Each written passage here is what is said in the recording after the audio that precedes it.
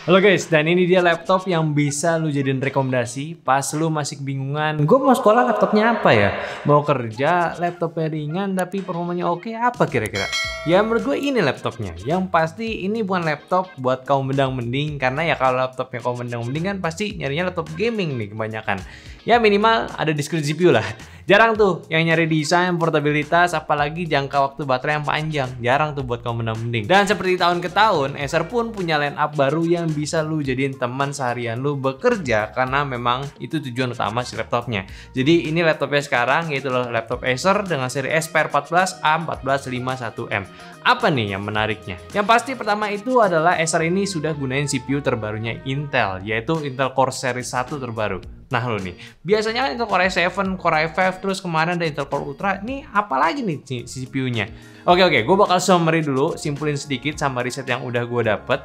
Jadi di ranah laptop ultrabook, tipis dan ringan, Intel itu sekarang punya dua tipe CPU yang mungkin lu bisa pilih sekarang. Yaitu Intel Core Ultra yang kemarin pernah kita bahas di beberapa laptop ultrabook, bahkan Acer juga pernah, yang memang jual fitur teknologi AI-nya pada laptop tipis, yang harus punya tenaga lebih buat ngerjain kerjaan lebih berat namun tetap on the go gitu. Nah Intel Core seri 1 ini adalah lineup baru yang kalau gue lihat itu adalah seri refreshmentnya Intel Core U series pada generasi sebelumnya. Jadi kayak Intel Core i5, i7 U series ya generasinya barunya ya kayak bakal kayak gini. Yang memang target utamanya itu ngincer laptop dengan desain tipis dan ringan, baterainya lama, nggak berisik soal kipas dan tentunya lebih terjangkau juga dari segi harganya. Gitu. Udah mulai nangkep belum nih? Harusnya udah lah ya. Kalau belum ya silakan aja tanya-tanya di kolom komentar bawah. Oke. Okay? Nah lanjutin juga untuk laptop spek Intel Core series sekarang kan biasanya masuk di ranah laptop terjangkau harganya ya. Makanya jelas juga laptop ini, si Acer Aspire ini kategori laptop tipis yang terjangkau. Beda sama Acer Swift yang lebih premium dan harganya jelas di atasnya seri Aspire. Dan untuk Acer yang satu ini juga ada dua pilihan yang bisa lu beli yaitu Intel Core 5 prosesor 120U sama Intel Core 7 prosesor 150 10U yang harganya itu masih di 10 jutaan awal yaitu 10,5 buat yang i5 ah nggak ada i5 nya guys cuma 5 Intel Core 5 dan 12 juta 999 ribu untuk Intel Core 7 nya terjangkau kan? Lihat aja nih dari laptopnya ini memang tergolong yang nggak dibikin rewel buat ke mana-mana. Tipis ringan cuma satu setengah kilo dan juga kalau lu bawa charger pun nggak nambah bobot pas lagi masukin ke dalam tas. Desainnya juga nggak macem-macem sama seperti generasi sebelumnya yang semakin premium yang minim gambar aneh-aneh penempatan logonya juga juga pas bahkan ada di bawah touchpadnya ada tulisan Aspire yang jarang nih produsen laptop kasih branding yang di bawah kayak gini yang menurut gue ini bagus tapi memang untuk style laptop affordable-nya ini masih kerasa di bagian bezel layarnya. Bukan karena tipis Maksudnya nggak tipis, tapi masih pakai frame plastik di pinggirannya. Salah satu keunggulan di laptop ini juga mereka bisa nawarin port-port laptop tipis yang cukup lengkap. Ya contohnya dari sisi kanan ada USB 3.2 sama audio jack dan di sisi kirinya ada DC port, HDMI 2.1, USB A 3.2 dan satu USB-C Thunderbolt 4 yang pasti bisa dipakai buat ngecas dan juga display out ya. Jadi bagus nih kalau lu males bawa charger lagi, lu bisa manfaatin aja sama charger HP lu buat ngisi daya laptopnya lagi. Makin simple buat dibawa-bawa kan? Ya asik dong. Tapi tetap punya USB banyak itu ya menurut gue ini lebih penting lah. Buat mouse buat SSD eksternal keyboard atau bahkan aksesoris laptop lainnya. Dan untuk displaynya sendiri dia itu punya ukuran di 14 inci sesuai dengan nama laptopnya dengan rasio layar yang udah modern yaitu 16 banding 10 jadi semakin luas untuk resolusinya yaitu Full HD WUXGA nya ini. Terus brightnessnya pun dia juga mencapai di 300 nits tipikal dan akurasi warnanya di 45% NTSC ya.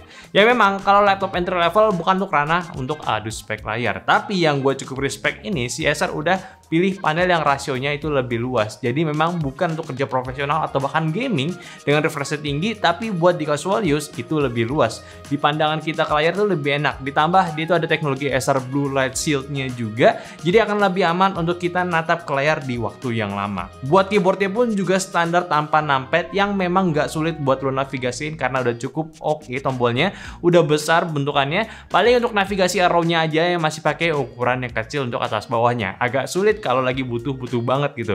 Tapi ya udah banyak lah yang kayak gini juga di laptop lain. Tapi untuk touchpad sendiri pun Gue ngerasa udah cukup besar juga buat lo gunain, enak juga klik-kliknya nggak udah cukup tegas lah kerasa klikannya. Jadi kalau buat dipakai sehari-hari sih ya, ini laptop dari desain ya udah nggak akan bikin banyak kerepotan sih. Kayak tinggal pakai aja udah cukup. Desainnya bagus juga, nggak bikin malu saat lo gunain tempat umum juga lagi. Ya memang Acer tuh pinter ya, untuk line up affordable-nya dibuat sekarang semakin premium. Nah kita balik lagi deh bahas soal performance-nya. Dapur pacunya yang dibawa isi Acer Aspire 14 ini, yang gue punya itu menggunakan Intel Core 7 prosesor 150U ya. Yang konfigurasinya ini menggunakan arsitektur Raptor Lake sama seperti Gen 13 kemarin tapi diperbarui lagi yang memiliki konfigurasi 2 P-core, 8 E-core dengan total 12 thread punya yang maksimum turbo boostnya di 5,4 GHz dengan PVP cuma di 15 watt aja. Dan CPU ini juga memiliki iGPU Intel Graphic dengan 96 executing unit punya. RAM-nya 16GB LPDDR5, dual channel memory dan jelas ini RAM-nya RAM tandem ya. Dan storage ini punya di 512GB SSD PCIe NVMe Gen 4 punya serta nggak lupa bawaannya pun sudah terinstall Windows 11 Home ya. Dan buat penasaran sama performance-nya, ya seperti ini.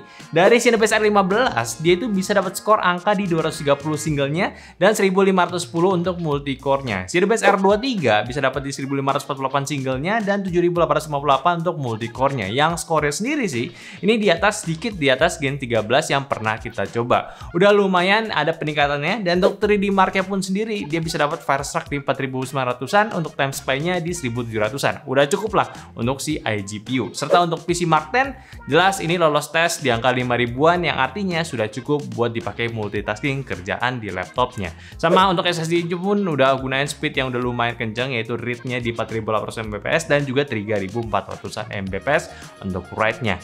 Ya memang lah, ini laptopnya udah cocok dari pattern-patternnya itu udah kepake buat gunain office gitu ya, browsing dan juga entertainment aja sih. Ya memang bukan untuk peruntukan tugas-tugas yang berat, tapi kalau mau dicoba tipis ya sebenarnya bisa-bisa aja. Ya lu pakai buat ngedit-ngedit foto, ini masih bisa tipis-tipis. Kalau buat render video full HD juga masih bisa. Kayak lu bisa dapetin video 45 detik di render cuma butuh waktu 12 detik aja. Ya nggak lama kan itu. Dan kalau mau dipakai buat main game pun juga masih ada beberapa yang masih bisa dimainkan. Kayak lu main Valorant di resolusi Full HD-nya bisa dapetin rata-rata di 168 fps dengan 1% low-nya itu di 89 fps. Kalau CSGO ya karena engine-nya baru emang pas-pasan banget bisa dapat 74 fps dengan high-nya.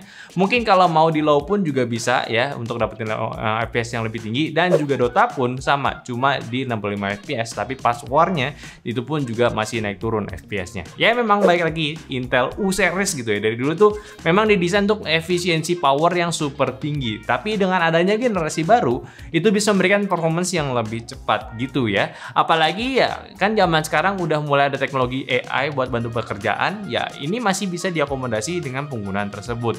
Gunain chat GPT ya masih aman-aman aja, kan masih basis website juga. Terus juga dari Windows yang terbaru pun juga ada fitur Windows Copilot pun yang bisa lo cobain hal sejenis yang langsung tanpa buka browser dulu.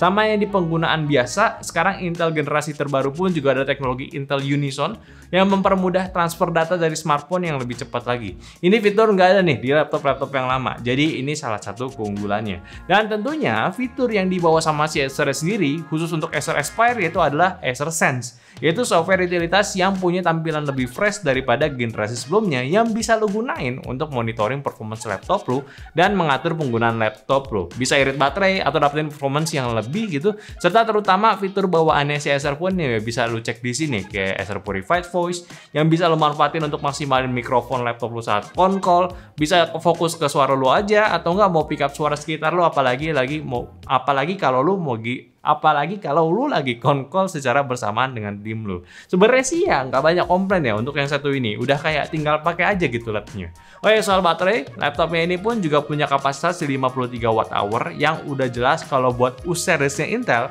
laptop-laptop udah pasti bakalan jarang butuhin yang namanya charger karena ya namanya udah irit gitu. Terus buat thermalnya juga udah cukup, si CPU-nya ini dijaga suhunya dengan dua heat pipe dan satu buah fan yang exhaustnya itu keluar di area hinge-nya dan integrate di sisi bawah laptopnya.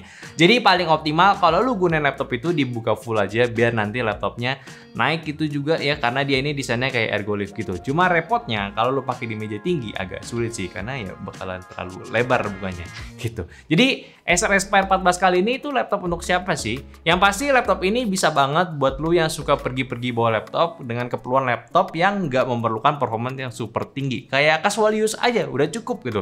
Dari anak sekolah, kuliah, jelas office task dengan baterai yang tinggi yang mungkin lu bisa pakai di mana aja untuk nugas dengan nggak perlu khawatir lagi soal baterai yang cepat boros. Kalau untuk para profesional, sama juga yang suka pindah-pindah lokasi kerja seperti konsultan, sales yang memang butuh laptop untuk buat laporan dari lapangan dan mudah buat digunakan di mana aja, itu bisa. Atau ya sekedar konten consumer ya, konten consumer bukan konten kreator.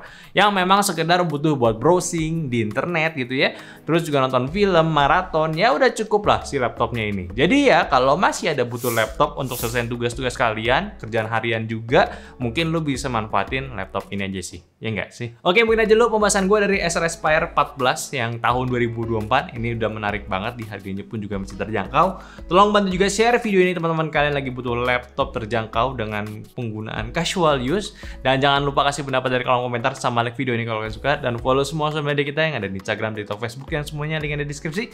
Dan terakhir, sampai jumpa di episode selanjutnya. Bye-bye!